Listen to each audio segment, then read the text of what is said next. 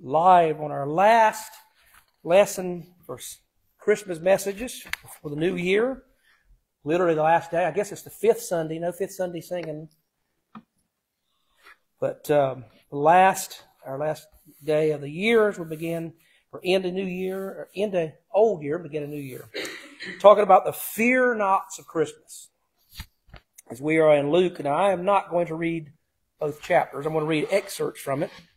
But uh, we are in Luke chapters 1 and 2 as we conclude this little section of some Christmas lessons um, as we're moving that. And then next week we will begin some study in angels. I think people will be see what the Bible says about angels, and we'll begin next week with angel mania. But we'll talk about fear nots after we open with prayer. Father, we just thank you for the privilege it is as we come to the end of our year that we can be in your house your people. We thank you for the, each one who's here today, those who've taken time to come and celebrate and worship you this week. We thank you for those who participated in Miss Mildred's funeral this week, the songs, the words, and everybody as we celebrated her life. And we pray that we would continue to carry forth the legacy that she's established here as today in Sunday school and in morning service. We ask that you guide us and direct us. We ask it in Jesus' name. Amen. Fear the fear nots. Our nation seems to feel more anxious with every passing year. The number two, the top two things that people seem to worry about over the last couple of years are high medical bills and terrorism. You go, go figure. And it, fear is not a discriminatory of socioeconomic class because it affects the rich and the famous and the less rich. Uh, the well-to-do all have what we call phobias. Now, we all have some type of phobias, I guess. Napoleon Bonaparte, who conquered most of Europe during his time period, was crippled throughout his life by a fear of cats. Go figure. Guy at the handy house out said, "Don't you want a kitten? I've got a ten-month-old kitten. I'm going to give away if you want." I said, "Well, I've got a puppy. He might not appreciate it, but I'll pass the word on. Anybody wants a kitten? Go to the handy house. They've got a cute little kitten." Uh, the fear of kitten or cats is called ailurophobia. Queen Elizabeth I wrestled with what we call anthophobia, the fear of flowers. Julie, you're out of a job. You had that. Uh, Sigmund Freud, who was the uh, famous father of psychoanalysis, suffered from what they call agoraphobia, fear of open spaces and the uh, marketplace. Edgar Allan Poe was something that probably a lot of people have, claustrophobia. I have that. Don't hold me down. Donald Trump's afraid of shaking hands. It's called chirophobia. Howard Hughes was victimized by mysophobia, which was the spread of germs. Andre Agassi, the tennis player, has one, the fear of spiders. James says he has that, called arachnophobia. And John Madden, the great NFL coach and announcement was aviophobia, the afraid of flying. I've got Several close friends of mine that have that have costed me long driving trips because they to take a flight. But that won't happen anymore. Though they can meet us, they can leave early, we can meet us down there. So all I tell us all this kind of tongue in cheek is that the world's full of fears. And of course, stress seems to reach its point during this time period between Thanksgiving and New Year's, uh, the holidays. Psychologists and counselors report that it's the busiest season of the year. Uh, and you seem to be a lot of people that end up in hospitals and sickness due to phobias and fears during this time here? Well, uh, fear was. The funniest fear that I ever heard a word for is called anatidaephobia, and it's the fear that somewhere in the world a duck is watching The fear a duck is watching you. well. I mean, that's a real thing. Hey, uh, there's fears out there. Uh, Dr. Jeremiah in his commentary said there was a fear out there, the fear of a long sermon. Amen. So, if we can find that word, we'll tell Bob that today and said, hey, a lot of us are suffering from that. By the way, I remember the day that I had my little fainting special. I had a couple of people approach and said, hey, by the way, we're sorry you passed out, but hey, it got us out of church early. so go figure. But anyway, no, we don't want to be there because you'd be there till what, 2, 2.30, 3 o'clock. But all tongue in cheek, uh, fear was uh, present at the very first Christmas time period. On three different occasions in the readings that we celebrate this time of year, uh, people were told to fear not, to use to calm the fright of the participants during that time period. For instance, when the angel Gabriel appeared to Zacharias, this godly man, quote, was troubled and fear fell upon him, Luke tells us. But when the angel Gabriel suddenly appeared uh, later on to, in Mary's presence, she was also unsettled by his words, Gabriel said. It says, what manner of greeting this was. And of course, we know the shepherds were greatly afraid, so fear was involved in the early Christmas time periods, and certainly fear will take us or attack us in the uh, year as we start new, fresh and new. But um, because of that first Christmas, when God come and in, in the stage in, the, in his ba- as a baby, excuse me, I'll get my words out in a minute. Uh, there's really no longer a fear, and I was reading the other day that if you have faith, that it's a sin to live, be anxious and fear. Now, you know, some anxiety is fine because it's given to us, but to live in a state of current fear and anxiety is a sin and a violation of the Word of God because you're not living by faith in Him. I've tried to take it that the heart when things come at me, but hey, easier said than done because fear comes upon us very easily. But we're going to see there are three truths to remember uh, when we begin to feel the sense of fear coming on us. Number one, God still answers prayers. We'll read a little bit from Luke 1, 5 through 14. Uh, as I said, I'll read some of not the whole chapter. It is in the days of Herod, king of Judea, there was a priest named Zachariah of the division of Abijah. And he had a wife from the daughters of Aaron. Her name was Elizabeth. And they were both righteous before God, walking blamelessly in all the commandments and statutes of the Lord. But they had no child because Elizabeth was barren and both were advanced in years. Now while he was serving as priest before God when his division was on duty, according to the custom of the priesthood, he was chosen by Lot to enter the temple of the Lord and burn incense. And the whole multitude of the people were praying outside the hour of incense. And there appeared to him an angel of the Lord standing on the right side of the altar of the incense. And Zechariah was troubled when he saw him, and fear fell upon him. There's that fear. But the angel said, Do not be afraid, Zechariah, for your prayer has been heard, and your wife Elizabeth will bear you a son, and you shall call his name John. And you will have joy and gladness, and many will rejoice at his birth. And that is the word of God for the people of God. You know, the history of that lesson there was he was a priest, and each priest had a certain time period where they would have a chance to go in and minister into the holy area. And it was his chosen time, and as he's only alone in there, and when he goes in there, an angel appears to him.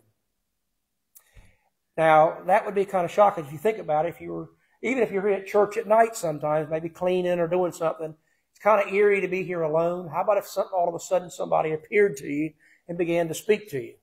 Probably would start to kick up a little bit. He was in there and certainly also remember they hadn't had any word of God for over 400 years during the silent periods between the Old Testament and the New Testament. And so Zechariah was in doing his thing in the uh, priesthood. All of a sudden the angel appeared to him and the angel knew he was afraid and he began to tell him, fear not. So maybe we've been praying about something and it seems that, hey, maybe God's not listening or answering. Perhaps we get discouraged. We've lost loved ones. We've seen sickness problems that come upon us and we say, well, I'm going to quit praying. God doesn't seem to be answering. But if God answered Zacharias and Elizabeth's persistent prayer, the entire life they had lived, she wanted a baby. He was a priest, for goodness sakes, and hadn't had any children. So they'd been praying for all these years and hadn't had an answer to prayer. Sometimes God answers prayer in His own timing and in His own way. And the Lord loves to take delight when we learn to pour out our heart to Him. And the Psalms are filled with that. The fears, the fears that are happening on those. But you know, as a result of the first Christmas, we have something that happens that Jesus came to live among us, put on flesh. And Hebrews tells us in response to that, that hey, seeing then that we have a great high priest who has passed through the heavens, Jesus, the Son of God. Let us hold fast our confession, for we do not have a high priest who can't sympathize with our weaknesses, but was at all points tempted as we are, yet without sin. Let us therefore come boldly to the throne of grace, that we may obtain mercy and find grace to help in times of need. So, the angels appeared to Zacharias and said, Hey, don't be afraid. you're going to have a son, and he's going to be one of the great people. Jesus said to wasn't a man born woman that was greater than John the Baptist, and he'd be the forerunner of the Messiah. Don't be afraid. Don't be afraid.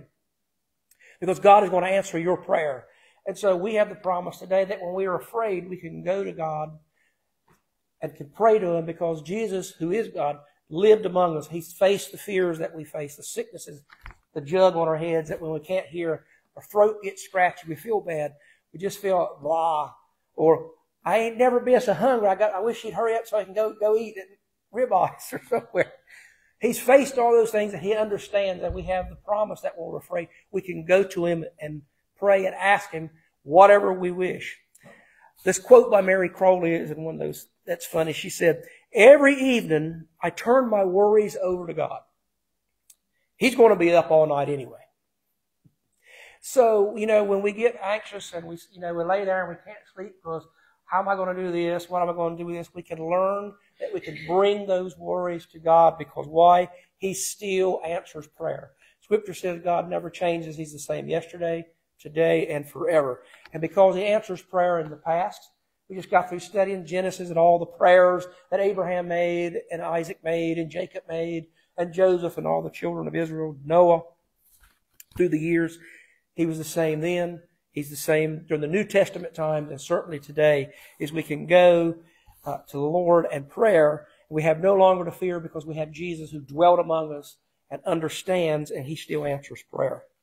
The second thing that we can come to fruition with is when we begin to face fears for the new year. God answers prayers, but also he keeps his promises. Luke 1, 26 to 31 he begins to tell us, in the sixth month, the angel Gabriel was sent from God to a city of Galilee named Nazareth, to a virgin betrothed to a man whose name was Joseph, of the house of David, and the virgin's name was Mary. And he came to her and said, Greetings, O favored one, the Lord is with you. But she was greatly troubled. There's that fear again at the saying, and tried to discern what sort of greeting this might be. And the angel said to her, Do not be afraid, Mary, for you found favor with God, and behold, you will conceive in your womb and bear a son, and you shall call his name Jesus. Now, once again, we put that into context. Young girl, an angel appears to her. I remember the movie that came out. She was kind of out in the wilderness, and all of a sudden, this angel appeared to her and began to speak to her. Certainly, as with Zechariah, would probably get our attention if an angel appeared to us and began to speak to us. Sometimes it's kind of freaky if it's just a person comes up, if an angel, we can understand. But, you know, seven centuries earlier than when this promise was made to Mary, there was a promise made to Isaiah. Uh, and it hadn't been fulfilled for 700 years. We only waited like 400 years from words spoken to Zacharias. But only 700 years, the angel had appeared or given the word of God to Isaiah.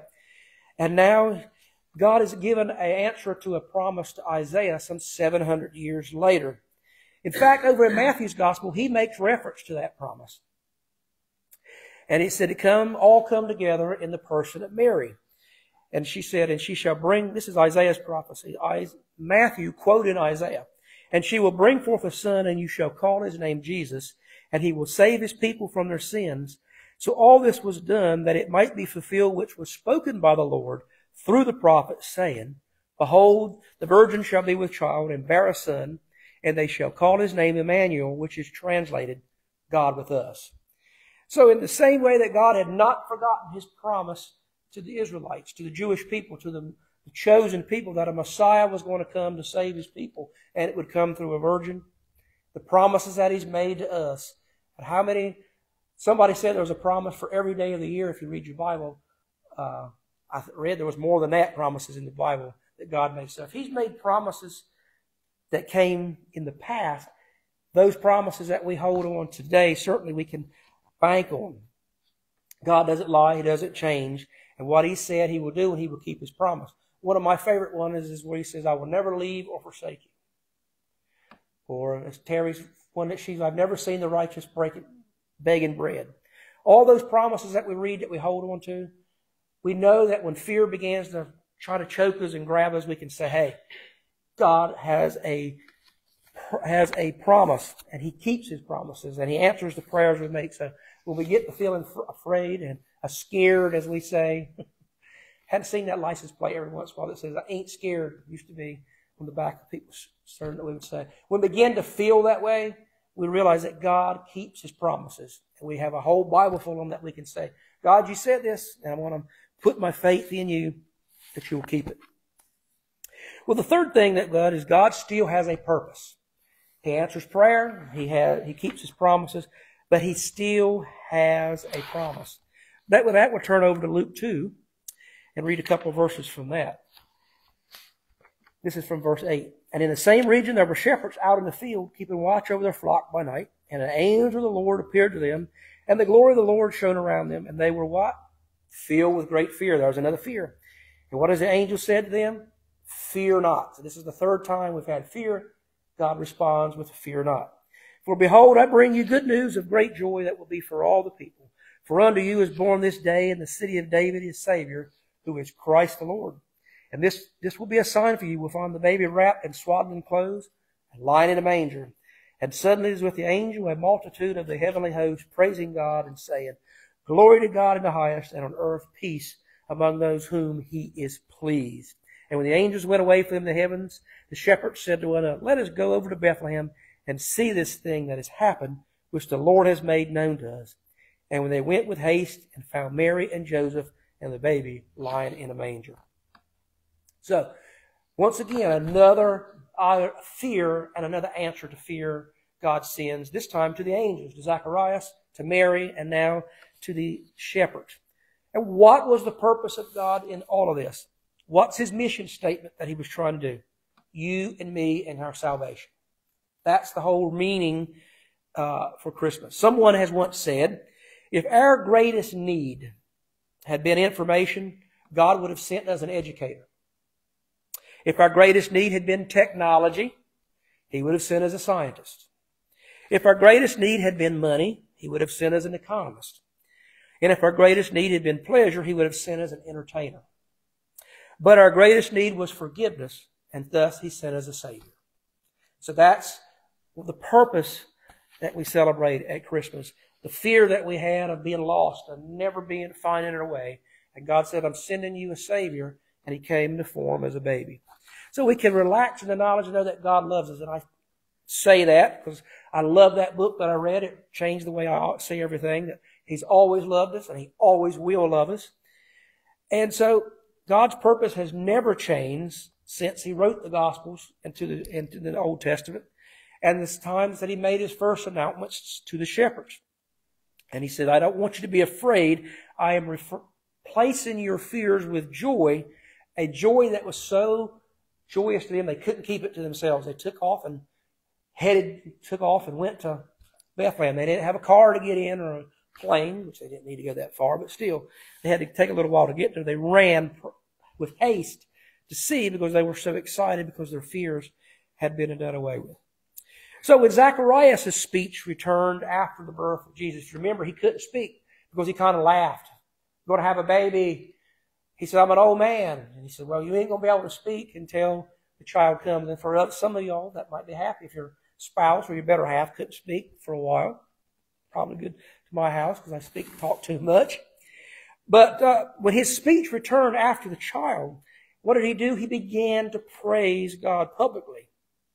Mary, after she had been given the fun, wondrous word of God that she was going to have it, couldn't contain the joy. She says, My soul magnifies the Lord. So Zacharias had had a his uh, Lord his promise fulfilled to him, his prayer answered, excuse me, and he couldn't contain himself. He began to be joyous and gave the his Zacharias Benedictus, I think is the fancy Latin word for it. And then Mary was so excited, overfilled with joy, that she gave her Magnificat. And she says, My soul magnifies the Lord, and my spirit has rejoiced in my Savior.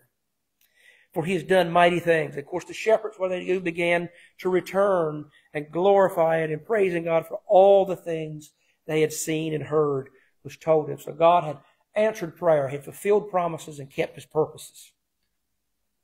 You know, and George Morrison, who's one of the great writers, had wrote this little bit. I'm going to read this because I can't put it in language that I need to read it. He says, you know, we don't associate fear with Bethlehem. You know, Christmas time, we read, we, it's more of excitement. We associate Bethlehem with joy and singing and with the spring up of glad and hope. We light the candles of hope and joy and all those things. The Christmas hymns that we sing are among the gladdest hymns to be found in all of our Christian music. You think about the sing, the songs that we sing are exciting and happy and joyous. Even desolate, lonely people are conscious of a kind of inward warmth at Christmas time. And yet, these shepherds out on the hillside were terrified and terribly afraid. They were not careless or irreligious men. Eastern shepherds were very rarely that. Yet when the angel of the Lord appeared to these hardy men, they were not just afraid, but terribly afraid. And though their trust as simple, faithful shepherds was in the God of Abraham and Isaac, an awful dread fell upon their hearts. They were afraid out in the middle of nowhere. Think about the shepherds and put them over here for a little bit on this screen. And let's go visit another occasion when an angel appeared to someone. And this is a great spiel in the next week's lesson because we're going to spend the next month studying angels and what's going on with angels in the Bible. What they do, what they do at death, what they do in Jesus' life. And let's visit another occasion when an angel appeared to someone. We'll fast forward to the grave of Jesus where a young lady was visiting. Her name was Mary Magdalene. Now, the interesting thing is, when we come to Mary Magdalene, there's not a trace of that command commanding fear or terror. The shepherds were afraid. Zacharias was afraid, but Mary was not afraid that day. And yet, fear was in the shepherd's heart. And we would think that it would be intensified with her early in the morning at a grave where her Lord was laying. She was a delicate, shrinking woman. They were hardy, courageous men out in the middle of nowhere. But she, and she was all by herself in the early morning. They were out in the hills. She was in the presence of a graveyard. Yet, as I said, there's not a trace of Mary ever feeling or expressing any fear when the angel confronted her. She didn't run away. She didn't faint and pass out or fall down. the angel spoke to Mary, and Mary answered the angels as if she were talking for some friend from the village. You couldn't imagine the shepherds doing that night. They were quaking as we sing in Silent Night. What made the difference between Mary and the shepherds? The difference lies in Mary's love for Jesus, a love which the shepherds were quite ignorant at the time. They knew of a Messiah coming, but hadn't experienced. Guess what? Mary had lived three and a half years, maybe less, maybe more, with Jesus and understood who Jesus was. So we say the love that she had for Jesus banished the fear that she had of the angel at that point. And we all know scripture tells us that love banishes fear. The Apostle John, who we got to study, tells us there's no fear in love. And the love of Jesus had so mastered Mary that fear took itself to wings and fled away. I love that quote. It was a fearful thing to be out in the dawn beside a grave near these Roman soldiers that we forget were there. It was a fearful thing within the sepulchre to be confronted with angels. But just as mother love drives out fear when a beloved baby is born, so the love of Jesus drove out the fear in Mary. I never thought about it from that point of view. You see, the difference between Mary and the shepherds is that Mary knew Jesus and loved him. And to have known him and to have loved him and have to been certain of his love for her destroyed all the fear that anybody that she could have ever had. A woman with a woman's heart, she was stronger than those hardy shepherds because Christ was living with her and his love was living within her. So what do we say? To banish haunting and fears that come upon us, like the fear of a quacking duck, as Terry said. we would, no, Terry's got to bring comic relief to us, don't she? So to banish that kind of haunting and the fears takes more than just being courageous. People say, ah, be courageous about it. No one would change, charge those shepherds with being cowards. They would have laid down their lives for those sheep in a moment. But amid familiar and expected dangers, they were equal to the problem. But let something mysterious and unseen, like a quacking duck, happen, fear began to take over. Like when we, we fear the future and we fear things that don't come upon us. No natural courage could ever keep that bay at bay. But we know that when the love of Christ comes to live in the heart, perfect love casteth out fear. And so one thing we know is that neither height nor depth nor life nor death can separate us from the love of Christ. In that love giveth and returneth lies the dismissal of a thousand fears, end quote by George Morrison. So, we often say the opposite of fear is courage, but the opposite of fear is love, Scripture tells us. So, the more we read and the more we learn about Jesus, and then express our love to Him and from Him, and then read the Bible like the love letter that it is to us, we begin to learn to deal with the fears that will come at us. And certainly as we begin to turn the page to a new year in the, tonight, I guess not in the morning, fears will come away in the new year. Fears of health and sickness and finances and things that are coming. When they come to us, we remember, we go to the love letter and go with the promises that He's made, the prayers that we pray, and the purposes He has for us, and allow ourselves to get caught up in who He is, the Savior of the world, and when the fingers of, I love this quote, when the fingers of fear start to clutch at us, remember those three things. God still answers prayers, He keeps His promises, and He keeps His purposes. And that purpose can be consolidated into one verse for Christmas that I'm going to read. For God so loved the world that He gave His only begotten Son that whosoever believeth Him should not perish, but have everlasting life. Father, thank you for bringing us through the Christmas season, through ups and downs and discouragement and encouragement and happiness and loss. Through it all, we know that, as we said, you can come to you as the great high priest and you still answer prayer. Any prayer, if we don't ask, it can't be answered. We thank you for that. We thank you for the fact that uh, you keep your purposes. We know you have a purpose for us to make us more like your son. And we know that you answer all the prayers, keep our purposes, and do all the things you've called us to do. And we ask that you lead us as individuals and as a church as we go into the new year to bring others to a relationship with you. We ask all these things in Jesus' name, knowing that you have always loved us and you always will.